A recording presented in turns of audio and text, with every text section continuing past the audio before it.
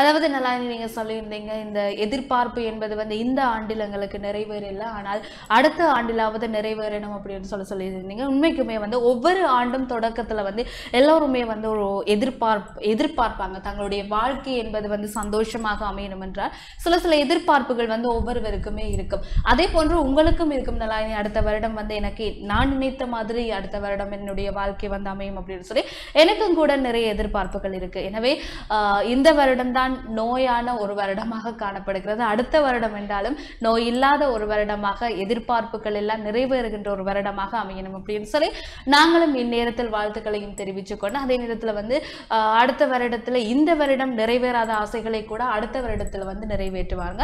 அப்படி நிறைய பேர் வந்து யோசிச்சுட்டு இருப்பீங்க. ஸோ அடுத்த வருடத்தை வந்து இப்படியெல்லாம் நான் பிளான் பண்ணி கொண்டாடலாம் திட்டமிட்டெல்லாம் கொண்டாடலாம் அப்படின்னு சொல்லி யோசிச்சிருப்பீங்க. ஸோ உங்களுடைய திட்டமிடலும் வந்து உங்களுக்கு சக்ஸஸாக அமையணும் அப்படின்னு சொல்லி நாங்கள் வாழ்த்துக்களை தெரிவித்துக்கொண்டு நிகழ்ச்சியின் அடுத்த பகுதியோடு இணைந்து கொள்ளலாம். அதாவது மதம் சார்பான நற்சிந்தனை பகுதிகள் அடுத்து உங்களுக்காக இணைந்து கொள்ளலாம்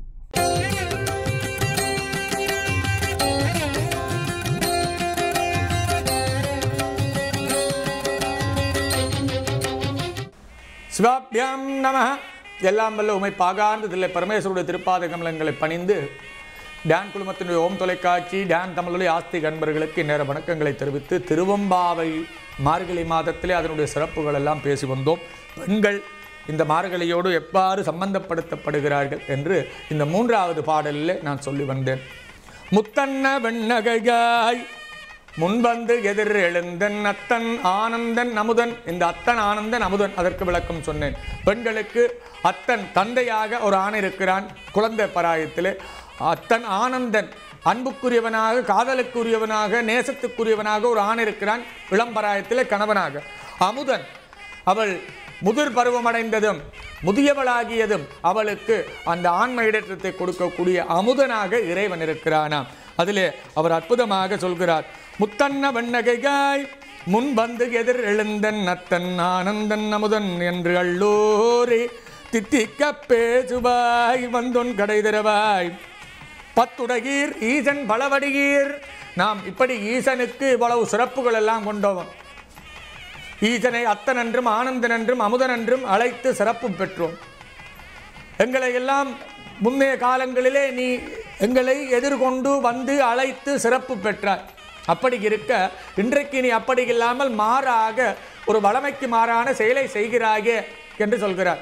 பத்துடகீர் ஈசன் பல வடிகீர் பத்துடையீர் என்பதற்கு பத்து விதமான காரியங்களை உடையவர் என்று ஒரு பொருளும் சொல்கிறார்கள்.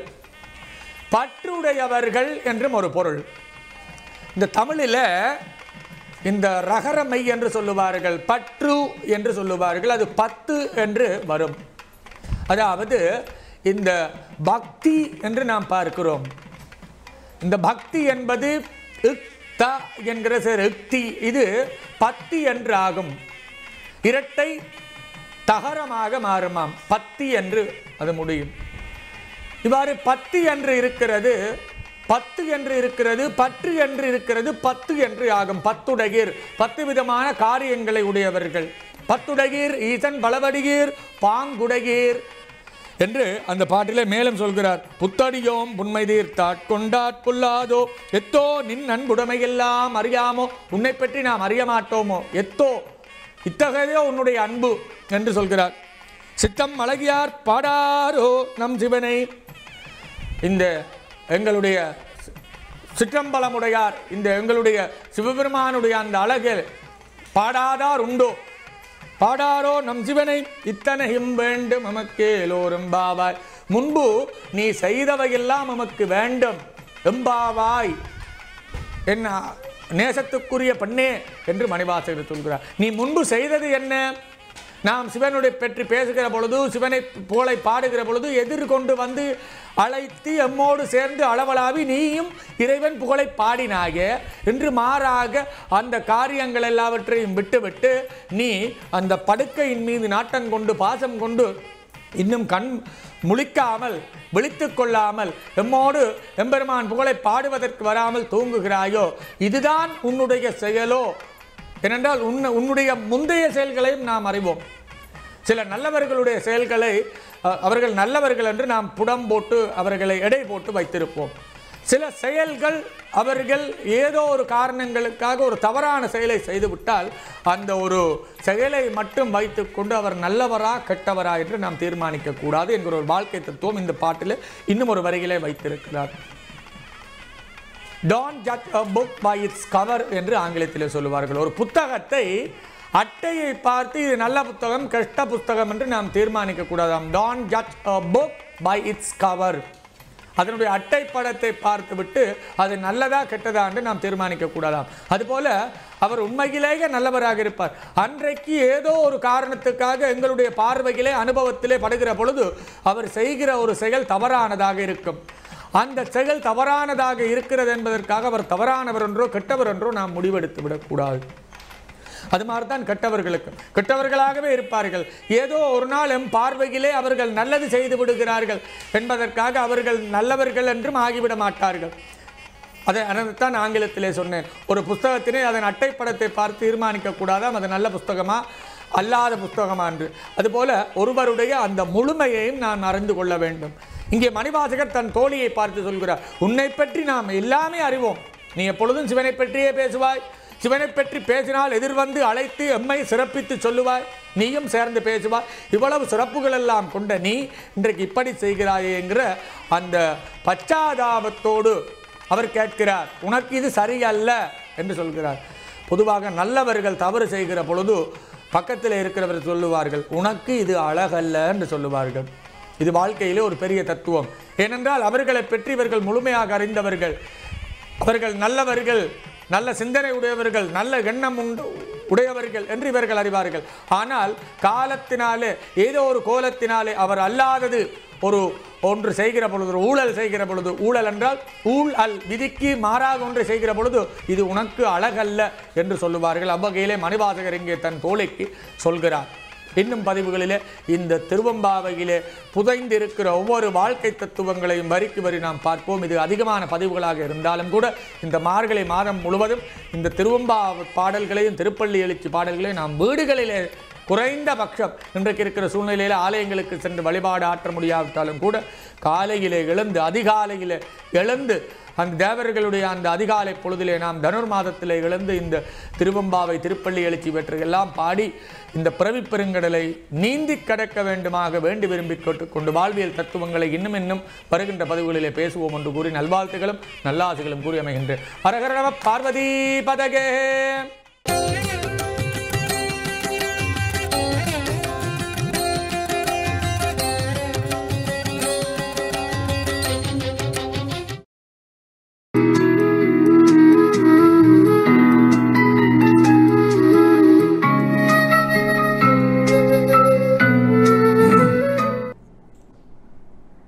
இறை இயேசுவில் என் அன்பு நெஞ்சங்களே கிறிஸ்தவ நற்சிந்தனை வேளையில் உங்களை சந்திப்பதிலே பெரும் மகிழ்வு கொள்கின்றேன். இன்று திரு அவை மாசில்லா குழந்தைகள் வேத சாட்சிகளாக அவர்களை கருதி விழா கொண்டாடுகின்றது. வரலாற்றிலே ஆண்டவர் இயேசு பிறந்த பொழுது ஒரு அரசர் பிறந்திருக்கின்றார் என்று மக்கள் நம்பினார்கள். ஏனென்றால் இஸ்ராயல் மக்கள் பிறக்க இருக்கின்ற மீட்பர் ஒரு அரசராக பிறப்பார். ஏனென்றால் தங்களுடைய அடிமைத்தனங்களிலே இருந்து அரசியல் ரீதியாகவோ பொருளாதார ரீதியாகவோ சமூக ரீதியாகவோ அவர்கள் அடிமைப்படுத்தப்பட்ட மக்களாக இருந்ததினால் அப்படிப்பட்ட அடிமைத்தனங்களிலே இருந்து உரிமை குடிமக்களாக அவர்களை உருவாக்க வேண்டுமென்றால் பிறக்க இருக்கின்ற மீட்பர் ஒரு அரசராக இருக்க வேண்டும் என்று எதிர்பார்த்தார்கள். அதனால் அந்நாட்களிலே அங்கு ஆட்சியில் அமர்ந்திருந்த ஏரோது மன்னன் ஒரு அரசர் பிறந்திருக்கின்றார் என்று கேள்விப்பட்டதும் அவன் அஞ்சினான். ஏனென்றால் அவன் ஆணவமும் தற்பெருமையும் பேராசையும் கொண்ட ஒரு மன்னனாக இருந்ததினால் அரசர் ஒருவர் பிறந்திருக்கின்றார் என்று கேள்விப்பட்டதும் அவன் அஞ்சினான். அவன் அதற்காக தன்னுடைய ஞானிகளை தன்னுடைய அவையிலே இருந்த அறிஞர்களை எல்லாம் அழைத்து குறிப்பாக அறிந்து கொண்டு அவன் சதித்திட்டம் தீட்டினான். ஏனென்றால் அவனுக்கு எதிராக நிகராக ஒருவர் பிறக் பிறப்பது என்பது அவனுக்கு பெரிய அச்சுறுத்தல். அதனால் அந்நாட்களிலே அந்த இடத்திலே பிறந்திருந்த இரண்டு வயதுக்கு உட்பட்ட குழந்தைகள் எல்லோரையும் கொன்றான். அவன் படுகொலை செய்து அந்த சந்ததியை அழிக்க வேண்டும் என்று அதுக்குள்ளே பிறந்திருக்கின்ற மீட்பர் அரசராக வர இருக்கின்றவர் அழிந்து விடுவார் என்று நினைத்தான். அதனாலே அப்பாவியாக இருந்த எந்தவிதமான குற்றமற்ற குழந்தைகளை அவன் கொன்று குவித்தான். இந்த குழந்தைகள் மாசில்லாத பாவ மாசு அது எதுவுமே அறியாத குழந்தைகள் கொல்லப்பட்டதை மாசில்லா குழந்தைகள் அனைத்தும் வேத சாட்சிகள் என்று ஏனென்றால் இயேசு பொருட்டு இவர்கள் கொல்லப்பட்டார்கள் என்பதனாலே திரு அவை அவர்களை வேத சாட்சிகளாக விண்ணகத்திலே அவர்கள் இறைவனுடைய சன்னிதானத்திலே புகழ் பாடிக்கொண்டிருக்கின்ற குழந்தைகளாக இருப்பார்கள் என்று நாங்கள் நம்புகின்றோம். இந்த நிகழ்வு எங்களுக்கு எதை சுட்டி காட்டுகின்றது என்று சொன்னால் இன்னும் ஒருவர் அவர் எங்களுடைய வாழ்வுக்கு எங்களுடைய பதவி உயர்வுகளுக்கு அல்லது எங்களுடைய சலுகைகளுக்கு அல்லது எங்களுடைய நிலைப்பாட்டிற்கு அச்சுறுத்தலாக இருக்கின்ற பொழுது நாங்கள் அவர்களை அழிக்க வேண்டும் என்று அவர்களுடைய பெயரை கெடுக்க வேண்டும் என்று சொல்லி அவர்களுக்கு தீமை வருவிக்க வேண்டும் என்று நாங்கள் விரும்புகின்றோம். ஏன் நாங்கள் கொலையும் செய்கின்றோம்? குற்றமற்றவர்களை நாங்கள் தண்டிப்பது எங்களுக்கு இறைவனுக்கு எதிரான ஒரு குற்றமாகும். எனவே நாங்கள் மற்றவர்களை குறிப்பாக அப்பாவி குற்றமற்ற களங்கமற்ற மனிதர்களை நாங்கள் துன்புறுத்துவதை நிறுத்துவதற்கு இந்த ஏரோது மன்னனுடைய தீய செயல் எங்களுக்கு ஒரு உதாரணமாக இருக்கின்றது.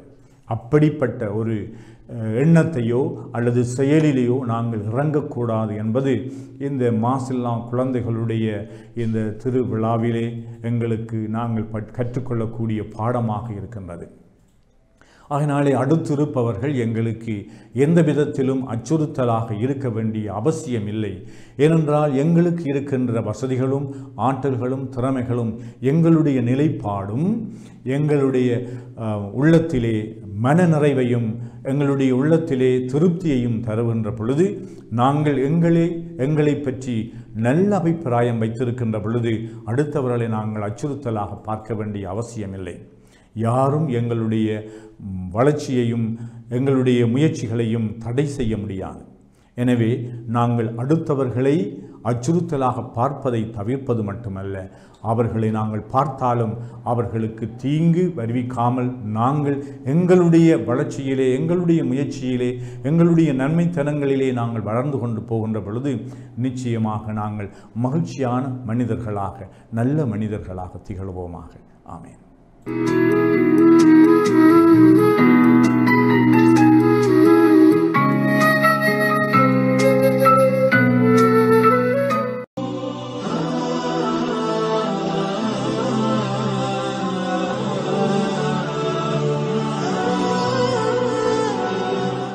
ரஹ்மான் ரஹீம் இஸ்லாமிய நற்சிந்தனையோடு இன்றைய தினம் இணைந்திருக்கக்கூடிய நேயர்கள் பார்வையாளர்கள் அனைவருக்கும் அஸ்ஸலாமு அலைக்கும் வரஹ்மத்துல்லாஹி உப்ரகாத்துஹு இன்றைய இஸ்லாமிய நற்சிந்தனையில் நபி முகமது சல்லல்லாஹ் அலைஹி அவர்கள் தன்னுடைய குடும்ப வாழ்க்கையில் எப்படி நடந்து கொண்டார்கள் மனைமார்களோடு எப்படி நடந்து கொண்டார்கள் வீட்டு பணிகளில் எப்படியெல்லாம் பங்கெடுத்தார்கள் என்பதை உங்களுடைய கவனத்திற்கு கொண்டு வரலாம் என்று ஆசைப்படுகின்றேன். அன்புள்ள சகோதர சகோதரிகளே இந்த உலகத்திலே அல்லாவுடைய தூதர் சல்லல்லாஹு அலுவலம் அவர்கள் அவனுடைய இறுதி தூதராக வந்துதித்தார்கள். ஜனாதிபதியாக பிரகடனம் செய்யப்பட்டார்கள்.